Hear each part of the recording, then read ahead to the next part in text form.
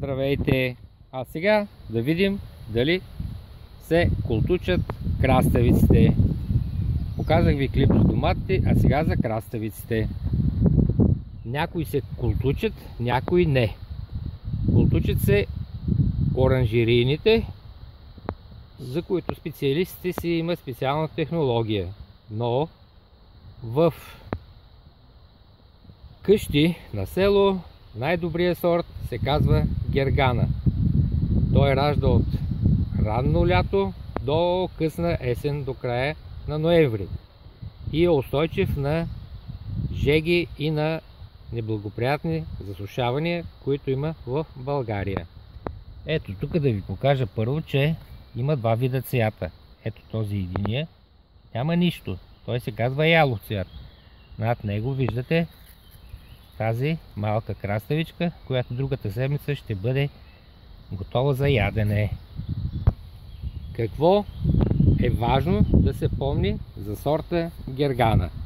Това е, че той плододава изключително от култуците. Ето това са култуците.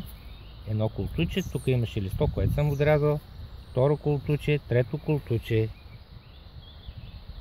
Тук по същия начин ако оранжерина ще откъсне, но ние го оставяме, за да, ето виждате тук едно завръщче, така че се оставя култука, за да има повече плод. Ако обаче имаме растение като това, няма култук, няма култук, няма култук, няма култук, то тогава с пръсти прещипваме връхчето. И ето го тук.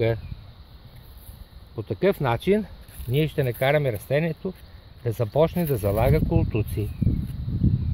Освен това, ако растението има слаби култуци, а расте предимно нагоре и като стане 40-50 см също може да му резнете връхчето. Пак повтарям, че това се прави само за сорта гергана. Тук също имаме едно растение, което вече е 40 см и на него също ще му махна бръчето, може и с ръка и по такъв начин ще накарам растенията да развиват култуците. Периодически и самите култуци могат да се култучат. И тук ще завърша на това ялово цветче за да ви кажа, че този клип е само за начинаещи. Тези с оранжериите се четат книги. Тези, които нямат кой да им покаже, им правя този клип. Надявам се да съм ви бил полезен. Абонирайте се за моя канал. И само да добавя, че след време самите култуци, които тръгват наляво, надясно, също се прищипват да пускат нови култуци. Така че за сорта гергана това е важно да се знае. Плододава и залага краставици от култуците. Довиждане!